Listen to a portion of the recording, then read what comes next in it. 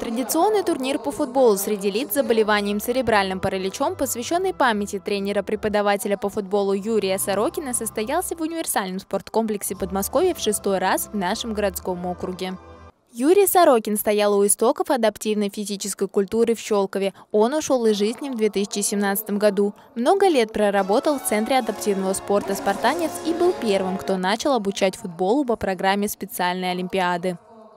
Он с 2002 года пришел в а, адаптивную физкультуру и начал заниматься с детьми а, с ограниченными возможностями.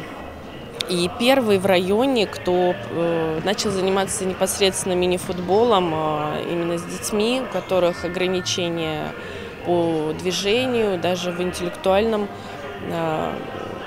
направлении тоже трудности были. И вот он как раз-таки э, начал активно этим заниматься, и я думаю, что он э, сделал большое дело. Не каждый человек способен научить детей из ДЦП э, что-то делать, особенно играть в футбол. Это очень большое, очень большое достижение.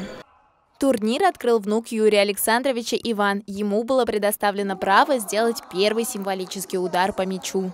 В соревнованиях приняли участие воспитанники школы «Спартанец», игроки спортивной организации Москвы. Матчи проходили среди юношей в возрасте от 10 до 17 лет.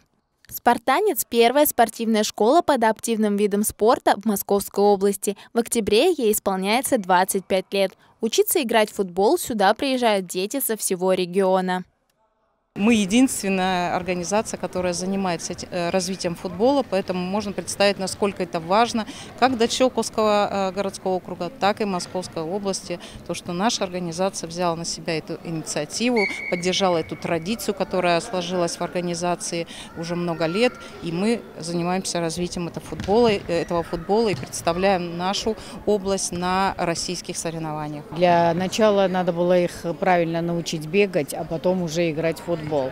Но был разработан э, комплекс специальных упражнений, а, так как здесь присутствует спастика и гиперкинезы, и такие различные сопутствующие заболевания.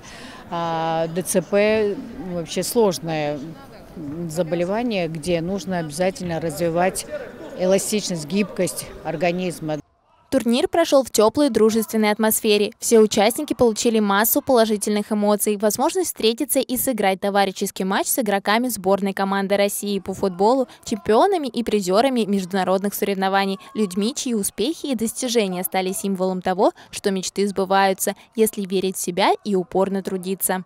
У каждого свое заболевание, у кого-то более сложное, у кого-то более легкое, поэтому родители очень важная основа для того, чтобы достичь ну, успеха в спорте. Я думаю, это должен быть э, огромный труд, огромный труд, терпение, очень большое должно быть терпение и сила воли, потому что не все будет сразу получаться.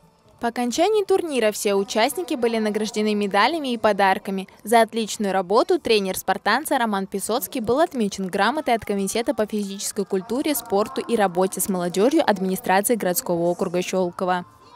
Евгения Корытько, Александр Аржевский, Щелковское телевидение.